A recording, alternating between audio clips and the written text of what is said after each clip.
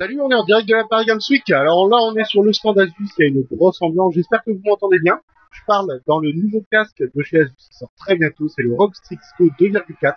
C'est un casque qui n'est pas destiné au PC gamer, mais qui est plutôt destiné à tout ce qui est mobile, au ROG Phone, hein, forcément. Le ROG Phone, je vous rappelle, il y a le 2 qui est sorti. Mais vous avez le premier que je vous ai présenté sur la chaîne.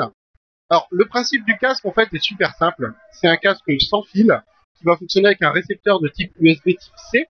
Donc là, c'est le récepteur USB type C qui est connecté sur le P30 de Tedria en l'occurrence.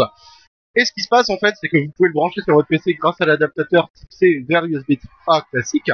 C'est un casque sans fil avec une excellente autonomie, un toucher premium, arceau en métal, un toucher hyper doux, tout ça en simili-cuir avec absorption du bruit. Là, par exemple, on est au milieu de la Paris je n'entends aucun son extérieur. Là où ça va être très fort, c'est le micro. Le micro est un micro à annulation de bruit. C'est-à-dire que si vous branchez chez vous sur Audacity, tant que vous ne parlez pas, vous aurez un tracé plat. Il n'y aura aucun autre son que celui du micro que vous entendrez. Là, j'espère que ça fonctionne bien, que le son passe bien par le micro. Ça vous permet en fait de m'entendre sans, je pense, entendre vraiment ce qui se passe autour.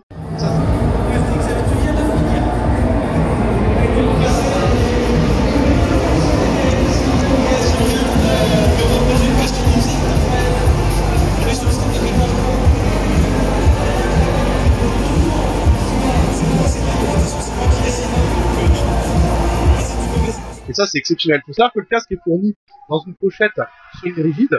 La pochette, en fait, est conçue comme le casque pour être transporté, pour être mis dans un sac à dos sans abîmer le produit. Et avec, vous aurez la possibilité, si la batterie, de le brancher en jack grâce au double jack, ou de le recharger grâce au câble USB-C vers USB type A génération 3, qui est fourni, de le recharger. Au niveau de la batterie, forcément, là, j'ai pas l'autonomie précise, mais on va aller au-delà des 10 heures, ça c'est sûr et certain. Il n'y a pas de RGB dessus, il n'y a rien qui consomme de la batterie. Il est extrêmement confortable. Ça, on pourrait dire. Il est extrêmement léger. Et ce qui est surtout impressionnant, c'est le micro. Je sais pas si vous réalisez le bruit qu'il y a à la Paris Games qui a déjà vu. C'est juste un truc de malade. Et là, ce micro-là, je l'ai testé hier avec mon retour de voix dans le casque. Je n'entendais rien d'autre que ma voix dans le casque. Alors que hier, à la soirée presse, c'était plus calme. Mais il y avait quand même énormément d'animation. Donc, on est vraiment sur un produit premium. Extrêmement premium, même. De haute qualité, qui va sortir je crois fin d'année ou début d'année prochaine, destiné au PC portable, au téléphone portable en USB type C, toutes les solutions mobiles en gros. C'est Asus qui fait ça et franchement, je vous le conseille. Petit complément voix off après la Paris Games Week. Donc le micro en fait est géré par une IA qui analyse votre voix et qui permet de la dissocier des sons ambiants. C'est pour ça que c'est aussi performant. Le casque étant en type C, il ne consomme pas le Bluetooth de votre téléphone, donc votre téléphone garde plus de batterie, plus d'autonomie.